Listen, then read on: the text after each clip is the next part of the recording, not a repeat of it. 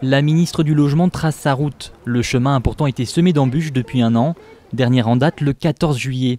Xavier Cantat, son compagnon, avait critiqué le défilé, provoquant les contestations de la droite. Il serait donc important à l'avenir d'inviter à la tribune officielle des personnalités qui ont la décence de respecter l'engagement de nos hommes. Face à cette condamnation, la ministre rétorque. J'étais plus préparée à répondre aux attaques politiques qu'à celles sur mon physique ou ma vie privée. Deux semaines plus tôt, réunion de crise suite à la révocation de Delphine Bateau. Cécile Duflot s'interroge sur sa place au sein du gouvernement, quitter ou rester. Elle déclare C'est la seule fois où j'ai réellement pensé que c'était possible. Il y a des moments où je me suis dit que j'étais sur un fil.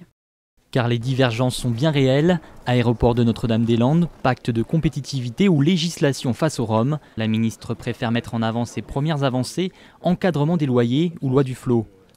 Pas de course municipale à Paris pour Cécile Duflot, mais concernant 2017, elle dit adorer les campagnes électorales.